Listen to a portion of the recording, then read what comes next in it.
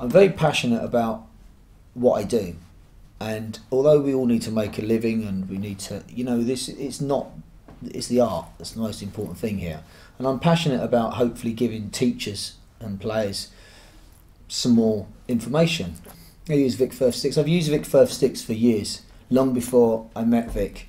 Um, when MikeDolbear.com started getting bigger and bigger, I've been a player for a long, long time. I wrote a book and I do a lot of teaching and teach, you know, some, some great players. Um, and I've always had endorsements with cymbal companies and drum companies from long, long time ago. When MikeDolbear.com got big, which is run with myself and a partner, I actually stopped my endorsements with the companies, the cymbal company and the drum company, because other companies felt awkward about it. I never stopped my association with Vic Firth, but the, the main reason is first of all um, for the respect of Vic. I think what Vic does in the industry and for the education, I think is second to none. I've always used Vic Firth products. Um, I always will use it because they make good gear and because of the respect I have for, for Vic.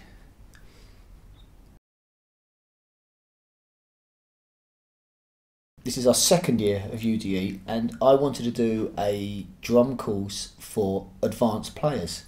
There's lots of courses where beginners could go, um, buy a pair of drumsticks, and go and learn to play the drums. I didn't want to do that. So this course is set up for some of the top teachers in the country. There's some players obviously on the course.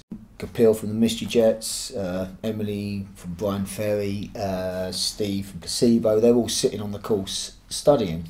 Last year, Steve Smith came over, uh, Ralph Salmins and Craig Blundell were the residential teachers, and each group has an 80 minute lesson each day with every teacher. This year we've got Stanton Moore, uh, Geoff Dugmore, and uh, Jason Bowld, and we again have a different guest teacher, and they cover different areas. Stanton Moore, everyone will be familiar with and know what Stanton does. Geoff Dugmore is a great English session drummer. He's played on 49 number one albums around the world.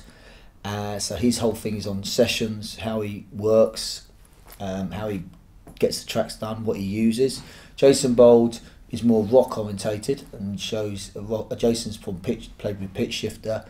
Uh, and then, like I said, we have a guest, different guest teacher, and it's been it's been a very good week. And Vic comes over, and everybody just asks Vic all the questions they want to know. I think with the quality of um, students that I have here, um, they don't want it any bigger than 15 people. And this, you know, everybody gets up. There's two drum kits with Stanton Moore. So everybody within the lessons getting up and playing alongside. Steve Smith last year had them trading fours with him. You start getting much bigger, you're not going to have that. I spoke to Steve Smith about this three or four years ago. Steve was great helping me and giving me advice on the running of this and he told me about other camps and uh, told me what was good and what was bad. I sort of wanted something that was very, very relaxed. You know, the guys obviously eat with everybody and everything's very relaxed. And I think if I start getting bigger, maybe the dynamics of the classes won't be so good.